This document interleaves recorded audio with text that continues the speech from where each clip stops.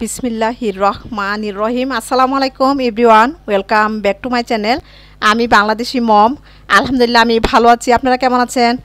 এখন সকাল নয়টা বিশ মিনিট মতো বাজে। তো ব্রেকফাস্টটা করে নিয়েছি আজকে বুধবার। তো আমি শ্যুট করে কিছু শেয়ার করতেছি। দুপুরের রান্না এই আয়োজন।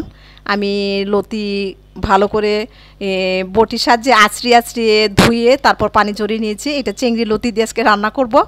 তো আমি পরিমাণ মতো তেল, পেঁয়াজ দিয়ে চোড়াটা ধরিয়ে দিয়েছি। আগে থেকে একটা কড়াই বসিয়ে দিয়েছি। তো আমি ভালো করে এটা কষিয়ে তারপর আমি লতিটা রান্না করব। আর দেখা গেল আদা, রসুন পেস্ট আমি দিয়ে এটা অল্প পরিমাণ দিয়ে রান্না করবেন। আর লতি লতি রান্নাটা বেশি পনেরো থেকে বিশ মিনিটে হয়ে যায়। তো আমি এটা রান্না করব।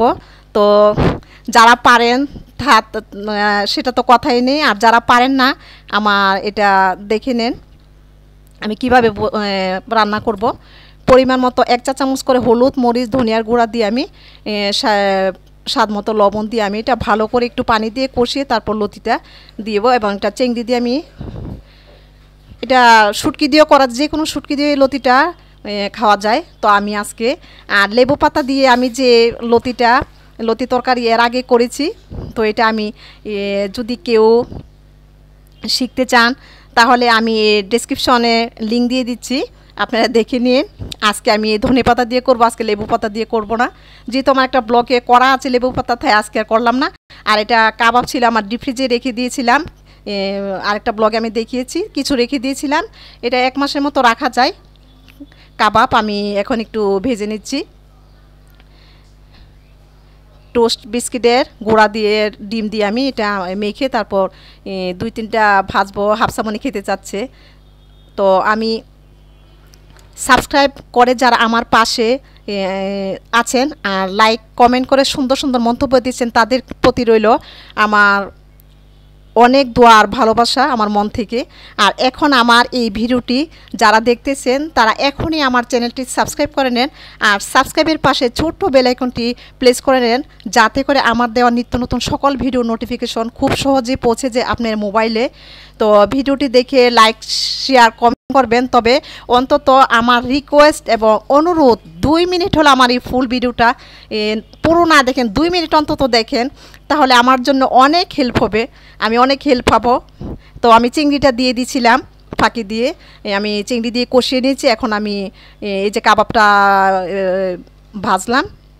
তো একটু দেখিয়ে দিচ্ছি, আমি টাওয়াল টিস্যু দিয়ে আমি তেলটা চুষে নিয়ে আমি দিয়ে দিচ্ছি নিচে। ট্রের নিচে। তো আমি এই যে কাবাব, তিনটাই ভাজলাম। তো বাকিগুলি আমি পরে ভাজবো। তো আমার, আমি মটরশুঁটি দিয়ে আমি লতিটা করব চিংড়ির লতি। তবে আপনারা সিমের বিচি দিয়েও করা যায়। সিমের বিচি দিয়ে আরও বেশি মজা। আমার সিমের বিচিটা আজকে আমি করব না। আমি মটরশুঁটি দিয়ে করলাম। তো লতিটা আমি ভালো করে কষিয়ে তারপর ঢাকনা দিয়ে কিছুক্ষণ ঢেকে নিব। আর অল্প পরিমাণ পানি দিয়ে আমি এটা করব, রান্না করব। তো আজকে আমি বলি, আমার ভুলকুটি আপনারা ধরিয়ে দেন। বন্ধুর মতো আমার কথা, ধনে পাতা, কাঁচামরিচ দিয়ে আমি এটা করব। দিয়ে নামিয়ে নেব একটু পর। তো আমার ভুলকুটি আপনারা ধরিয়ে দেন, বন্ধুর মতো আমার কথা উল্টাপাল্টা হয়, আমি স্বীকার করি। আমি কথা বললে আমার দেশের টানটা চলে আসে, অনেক উচ্চারণ ভুল হয়, হয়ে থাকে। কমেন্ট করে আমাকে যদি ভুল ধরিয়ে দেন বা আমাকে তাহলে আমি শুধরে নিতে চেষ্টা করব ইনশাল্লাহ। আমাকে হেল্প করুন, কমেন্ট করে, তাহলে আমি খুশি হব।